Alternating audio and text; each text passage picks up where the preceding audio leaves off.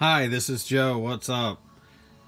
This is a really nice set of Mikuni 29 millimeter smoothbore carburetors.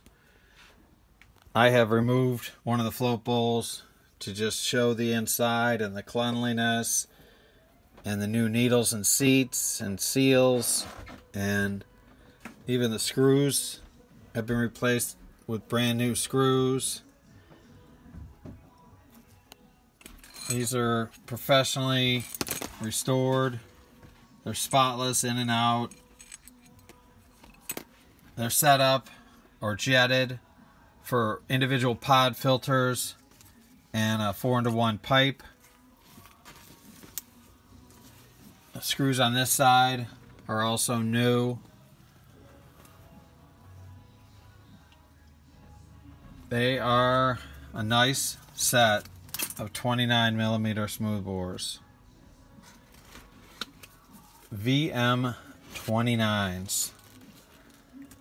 Discontinued from Mikuni, um, but this is a really nice set. And they're for sale, and you can email me at oldparts at AOL.com. That's O L D P A R T S at AOL.com. One more time, oldparts at AOL.com. Thanks for watching.